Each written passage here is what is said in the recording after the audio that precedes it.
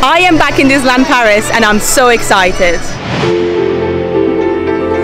Oh, it feels so nice to be standing here in front of the Disneyland Hotel, the entrance to Disneyland Park here in Disneyland Paris. And for those of you who've been following my channel for quite some time, you will know that I had surgery a couple of months ago and it's been a while since I've been Disneyland Paris. So this is my first trip back. I am so excited. The weather's nice. I do have a coat with me, but I don't need it because the sun's out. Look at the blue skies up there. It is so beautiful. The atmosphere. I'm just so excited and happy to be back. Now, it is currently about 4 o'clock in the afternoon. I only got to Disneyland Paris a couple of hours ago, checked into my hotel, and we are off to have a couple of nice hours here. And look at the beautiful, colourful flowers here. Springtime is one of my favourite times to be in Disneyland Paris. The weather's often quite nice.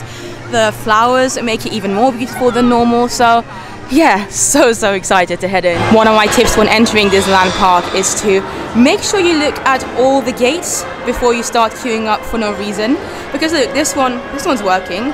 I've got my pass here and there you go, I'm in.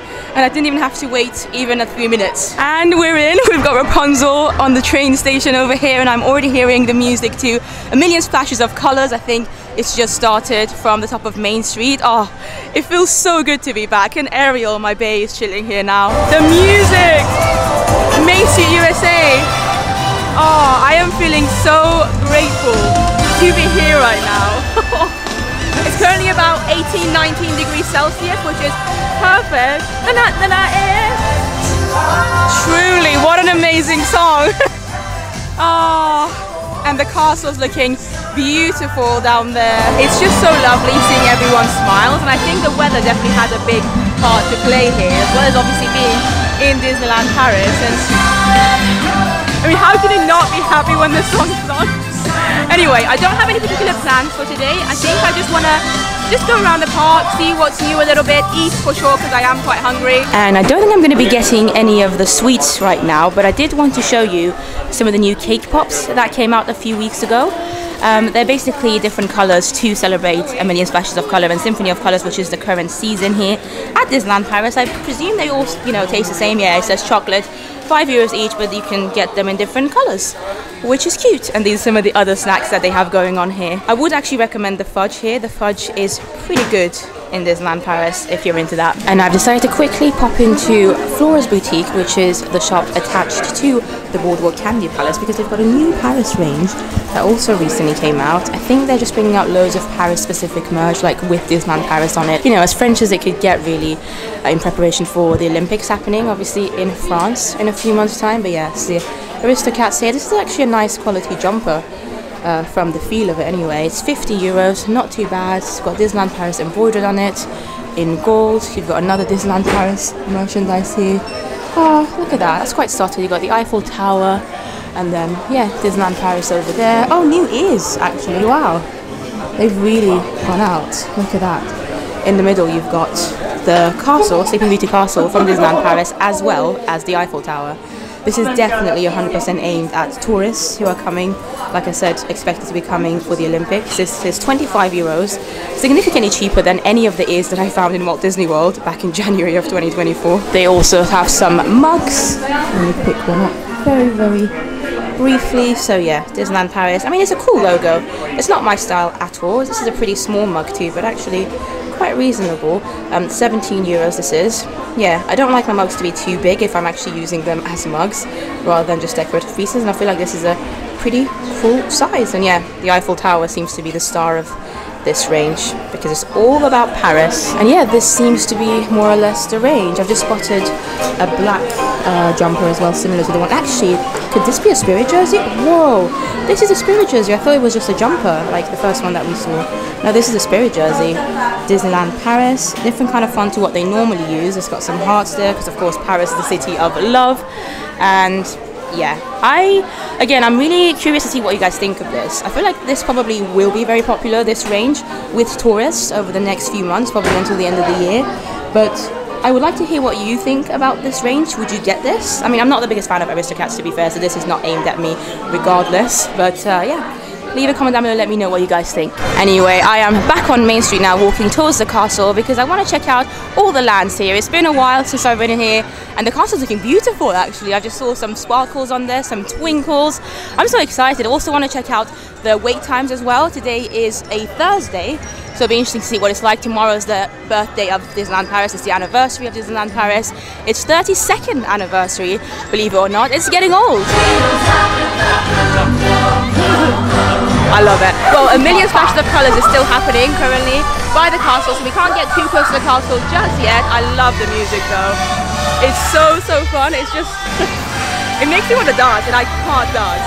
But I thought I would make my way to Frontierland instead and then just make my way around the park these walls as well, I thought I would show them to you. These weren't around a couple of months ago when I was last here. And I have to say, they do make the guest flow a little bit annoying, especially because it's already quite narrow in this area of the park anyway. Thankfully, most people are currently watching the show. I am hoping to make a new video talking about all the new stuff happening in Disneyland Paris recently since the last time I was here, one of my What's New in Disneyland Paris videos, so make sure you're subscribed for that coming up soon. But these walls, they're basically trying to make Disneyland Paris as a whole more weatherproof, if you will, because it does tend to rain and snow quite often here, so they're trying to build a bit of a roof um, outside of Casey's Corner, you know, where the outside area is where people will sit down. Normally it doesn't have a cover, but they're making it covered now. Same with where some of the characters meet right next to Casey's Corner. I mean, I think it's a good idea. It's just a shame that for the time being it's going to be a little bit difficult navigating the park, especially when it gets busier. But whilst I'm on my way to Frontierland, I also wanted to give a big shout out to one of my lovely viewers who I just met, Luca. Luca, it was so nice meeting you. He was just watching the show. So thank you so much for saying hi, Luca. Anyway, with that being said, I am now officially in Frontierland and I've just bumped into the lovely, what's your name?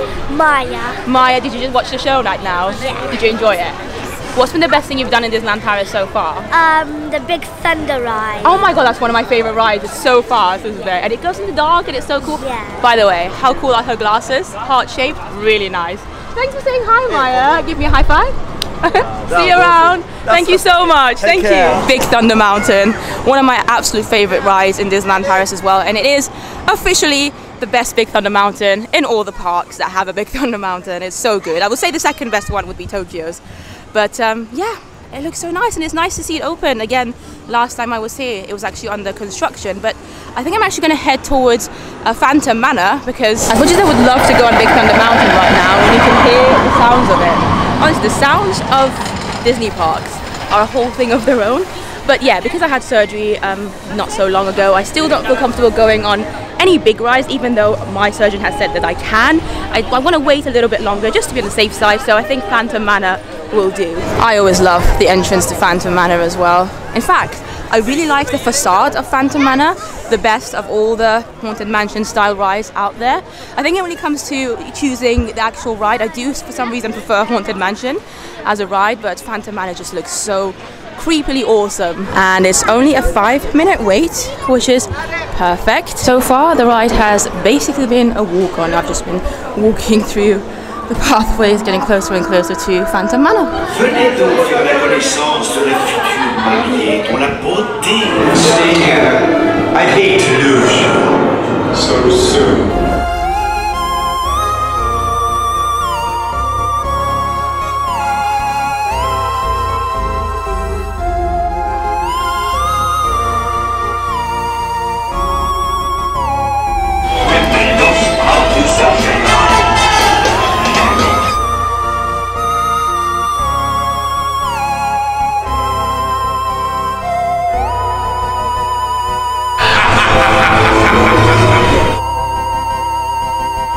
Phantom Manor was awesome. I actually don't remember the last time I went on it, and it's always a good time. But I feel like I should probably eat because it is close to 5 p.m. now, and I haven't actually eaten any proper food today. So leave a comment down below and let me know if you can guess where I'm gonna head. Oh, it's very sunny. By the way, if you're visiting Disneyland Paris, anytime from like late March to I would say late June, early July. And if you're prone to allergies, then bring your allergy tablets. I forgot and I am struggling. Honestly, I got to the park earlier and suddenly I was sneezing constantly, my eyes were burning, and it hit me. Allergies. And the fun, funny thing is, and you probably don't even care, before coming on this trip, I honestly even made sure to like make make a mental note to myself to not forget the allergy pills because I knew this was gonna happen. anyway, life goes on. We're still having a phenomenal time, and it's actually not too bad now that it's starting to get closer to the evening hours, but yes, food. And as I'm approaching this new cart in Frontierland, this new snack cart, I should say, you might be wondering, is this what I'm going to eat? And no, but I will be coming back here in the next couple of days to check it out. This literally opened a couple of weeks ago again, and it sells, I think, turkey legs. Let's have a look. Yeah, turkey legs, more or less, and churros.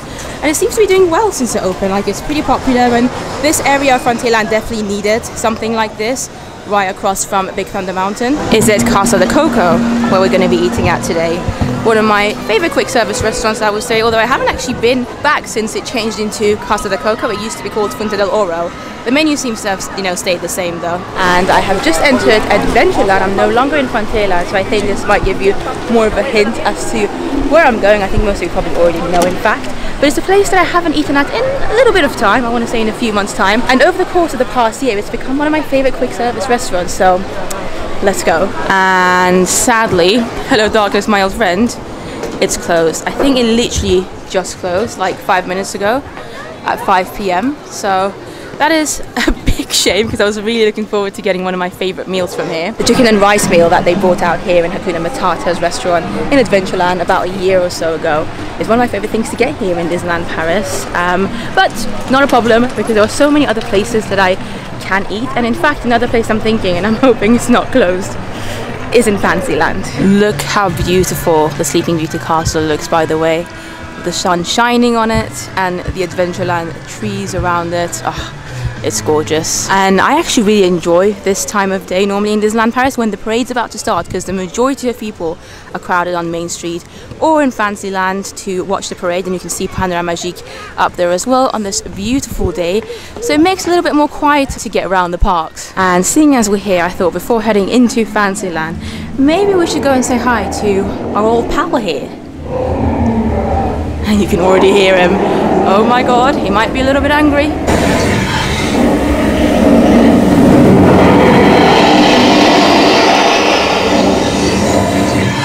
That was fun. Did you know, by the way, that when Disneyland Paris first opened in 1992, this dragon inside the castle, or underneath the castle, I should say, at the time was the largest animatronic Disney had ever built.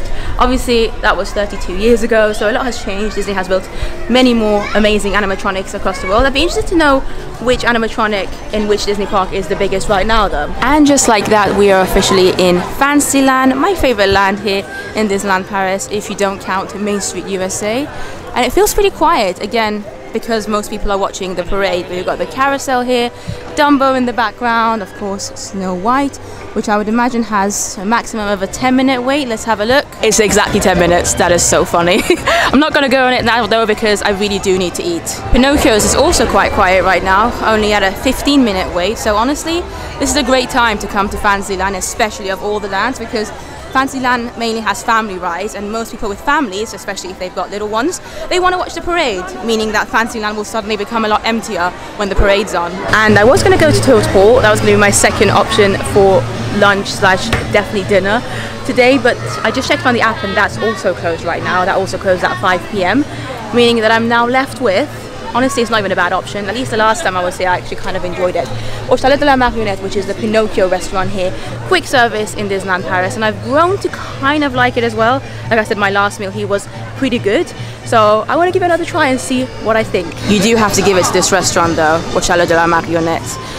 If anything, the theming, the exterior, just the details of this restaurant are so fantastic and perfect timing because look how quiet it is. I did debate mobile ordering, but I had a feeling it was going to be pretty quiet at this time of day because not many people would want to eat at like 10 minutes past 5 p.m. So this is amazing. I'm so hungry at this point that anything will do.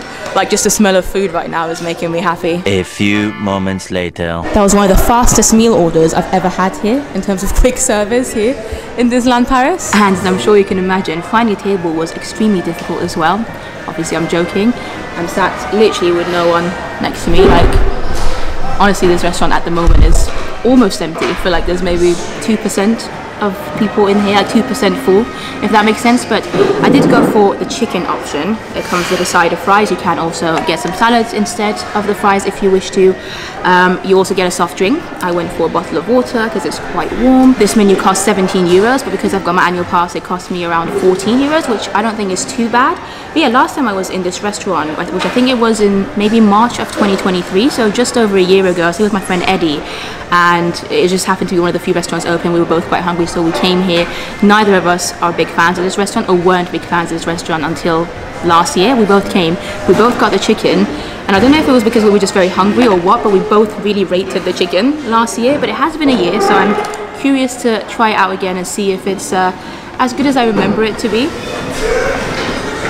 I mean, it's not bad. The fries just normal quick service Disneyland Paris fries. Yeah, I think it's going to do the job. It's going to fill me up and it doesn't taste bad either. In fact, it's actually weirdly flavorful for what it is in a quick service restaurant. So I'm to enjoy my meal and get back to you to see what more adventures we can have. Well, that was my very late lunch slash dinner, definitely dinner. Um, I would say it was fine for what it was. I mean, I enjoyed it, but it wasn't anything special. Out of all the quick service restaurants here in Fantasyland, this would probably be my least favorite in fact because they do have Toad Hall which would have been my second option for the day. Obviously it was closed unfortunately. Also there's Bella Notte in Fantasyland which does like pizzas and pastas and the setting is also very nice there and the food I think is maybe just a little bit better. I feel like Pinocchio's or Chalet de la Marionnette it's a beautiful setting it's really lovely and it's a prime location in Fantasyland this is why it's a very popular restaurant normally but I've tried a few of the things like the chicken's definitely the best thing here. Don't get the pretzel sandwich. I had that I want to say about a year and a half ago it was just so bland for what it was. So chicken's pretty good. Everything else take it or leave it. But Mickey Mouse's queue in his Meet Mickey Mouse attraction Rencontre avec Mickey. Is currently at a 50 minute wait which isn't too bad. So hello how are you? Yeah I figured we'd go and say hi to the main mouse but before we actually fully join the queue I thought I would show you these amazing artworks that are here inside the attraction. I don't think I'd even ever noticed them before and I've been here definitely many many times. Look, Goofy in feathers on the Nile. Look at his expression. So fun. So those two I'd already seen before, Mickey and Minnie, but for some reason I'd never bothered to look on the other side. Anyway, without further ado, let's head in. The good thing about this attraction is that even if there is a long line, I mean 50 minutes isn't necessarily short, at least you're undercover firstly and also they always play Mickey shorts on so you can watch them and it's entertaining both for adults and especially for children while they wait. I have also decided to put a stopwatch on just to see if it ends up being 50 minutes or hopefully a little bit shorter. And I'm just about to meet Mickey, I think I'm next in line, but I wanted to show you some of the stickers they've got as well. Honestly, the theming everywhere in Disneyland Paris is awesome, but even just in Meet Mickey Mouse's attraction, Hollywood Hong Kong Hotel, we've got Castaway Cay, which I would love to go to, Club 33, The Absolute Dream, but Hong Kong, Hong Kong. Hi Mickey, how are you? So good to see you. Is it your first I've time? you. No, it's been a while though since I last saw you, so I'm so excited to see you. You look amazing, and Oh, Mickey, look at the shirt. yeah, I've got I've got your loved one here. It's Of Minnie. please do send my love to her. and tomorrow's the anniversary of Disneyland Paris. That's exciting, Mickey. I'm mm-hmm. so excited to be here for it. Should we get a photo? Thank you. Nice. Oh, Oh, such a gentleman. oh, you're so cute, Mickey. Thank you so much. Love seeing you. Say hi to Minnie. Bye bye. Bye, Mickey. Bye bye. Well, that was so cute. It's always so nice seeing Mickey. And from the moment I stepped into the queue until after meeting him, which is now 50 minutes. So it's actually probably a little bit less than 50 minutes because obviously you have to take into consideration the five minutes of, you know, meeting him and the moments just before you meet him kind of thing as well. So not too bad. And shout out to cast member who was with him as well. She was so, so lovely. So I was so excited to see him, even though it's only really been a couple of months. But um, yeah, she was lovely. Mickey was lovely. Honestly, meet Mickey here in Fantasyland, even though it generally has very long queues, you normally get to spend quite a bit of time with Mickey. So it's not like basically if you meet Mickey in Disney World, it's a lot quicker than what they do here. The characters generally tend to really take their times with uh, the guests, which is actually why queue times generally very very long for characters but it's worth it if you really do want to meet a character and I felt like I had to meet Mickey today and I'm now slowly but surely making my way towards Discovery Land because I feel like we may as well at least say a quick hello to that land before the end of the vlog look at the pretty flowers so colorful and bright honestly. Disneyland Paris is always beautiful. In fact, one of my favorite things about coming here is to notice all the like greenery um, in different seasons. And of course, my beloved It's a Small World is waiting for me. I mean, it's a five minute wait, so it would be rude not to. I wasn't planning on finishing with this ride today. I was actually hoping to go to Discoveryland and do Star Tours because from a couple of weeks ago, again, there's been some new scenes added to the ride from Mandalorian and I think Grogu's there in one of them, maybe a couple of other things as well. Anyway, I'm not the biggest Star Wars person anyway, but I was very curious to check it out. But then I had a little bit of a think, and I'm not sure it's a good idea just because, again, with the surgery that I had, even though I've been given the all clear, I still don't feel fully comfortable going on any ride that's gonna like give me too much motion, especially like, you know, very sudden movements. Even though it's a simulation ride, it's still a little bit of a risk for me. So I'm gonna wait until my next trip. Instead, I'm gonna treat you to a small world for like the millionth time. So let's go. I'm not even kidding. It's literally just me and one more group on the front row. I'm on the very back row. About three rows, I think one, two, three, or four rows actually, empty in between. And then there's me. Feel a bit like VIP.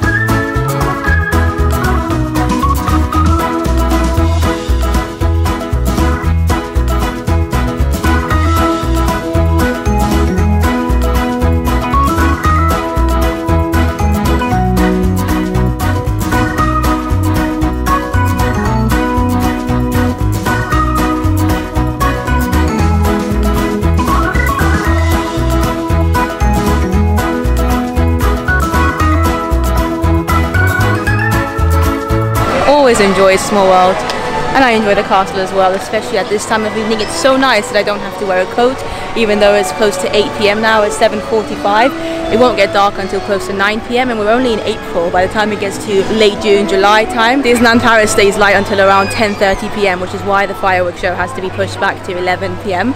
in the summer months, just because you can't really do fireworks when it's bright and light outside. But I love it. I love daylight. I like the fact that we're getting closer and closer to summer and spring. And thank you so much for watching this video. Thank you so much for your lovely, beautiful, kind comments over the past couple of months.